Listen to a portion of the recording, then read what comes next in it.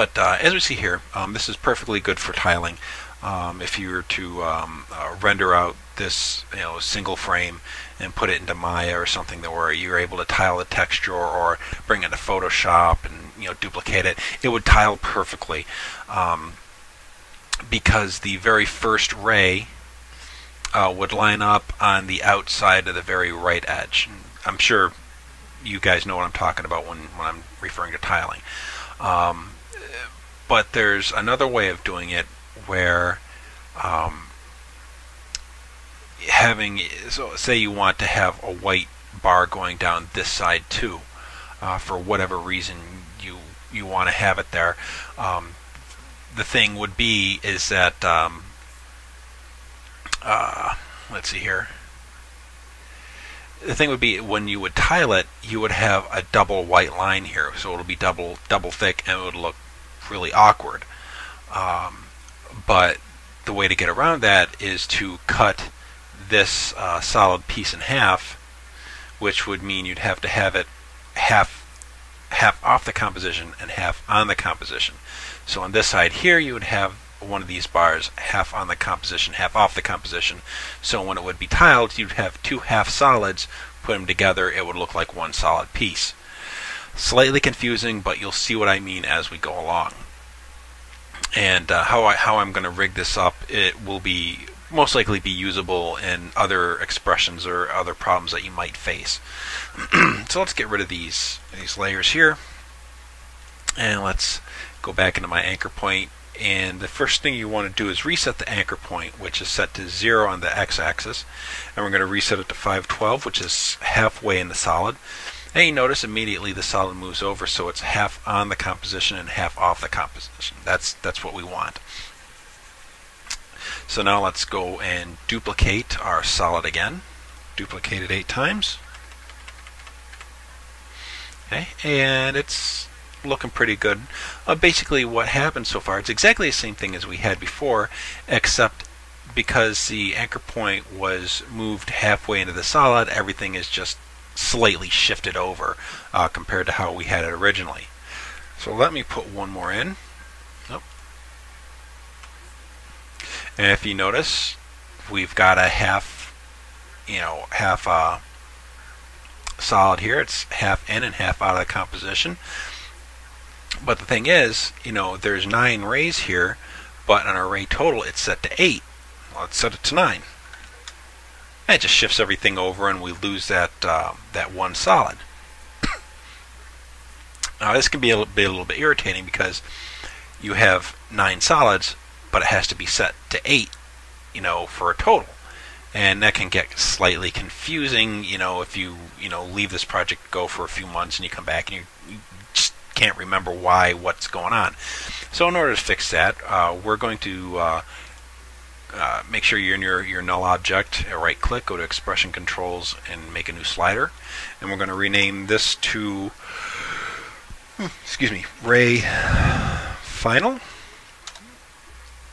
And we're going to plug the ray total into the ray final and um, do a little expression work. So when you punch in 9, it will, 9 for the ray final, it'll evaluate here as to seeing it as 8 rays.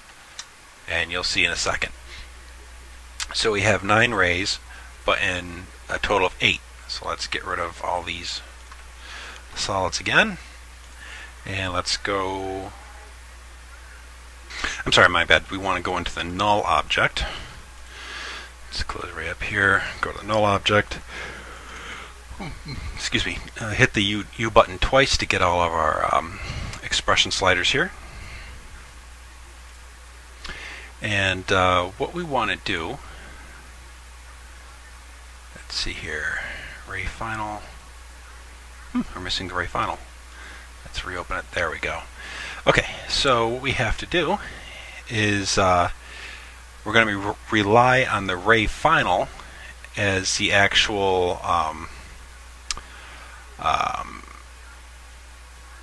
counter for, for our ray total. So you'll see what I mean here in a second. So we're going to take our in our in our clamp expression, highlight effect ray total slider, and then pick whip ray final slider. Okay. So now in our ray final, whatever number we evaluate at will show up in the ray total. Of course, if we go down to negative 20, because the ray total is clamped between 1 and 360, we're not going to, you know, the ray total is not going to do anything. So let me bring this down to 8. Actually, let's bring it to 9. So now the ray, ray total is 9. Now the thing is, we've got to fix it here so when the ray, ray final is 9, the ray total is 8. So we have to have the ray final one more than the ray total. So what we have to do here is make the ray uh, ray final slider one less minus 1. So now we will look at the ray final. We have 9 rays equals uh, okay I'm starting to actually confuse myself so we have 9 rays and it's being evaluated in the ray total as 8 okay? So we actually have 9 rays but in order to get our positioning correct we have to have the total actually 8 rays set to 8 rays. So we'll see we'll see here in a second. So go to our rays. Duplicate 9 times. So we have here let's go into our null. So we have 9 rays spaced evenly but it has to be set to a total of 8 in order to get the half, the two half uh, uh, rays. Now the reason why it's set to 8 is because we have these two halves equal 1. Even though they're two whole rays, the composition is taking a look at it and seeing is only halves. So let's close up the ray total, and we don't even have to look at that because when we punch in 9 rays, it'll be evaluated in the ray total as 8 rays. If we punch in you know, one more. Go to our null. We've got 9 rays, 10 rays in here now. Punch in 10. It'll spread everything out evenly, even though ray total was evaluating as one ray less. I hope to God you guys aren't so confused because I am pretty much confused myself. But um, those of you who aren't too confused to probably understand what I'm what I'm talking about. Um, but this is kind of like a long way around or just a different way of looking at, at something. So um, I'm going to cut it off here and I'm going to jump back to the original one and we're going to finish off this, this little project. So, Alright, so I'll see you guys in the next cut.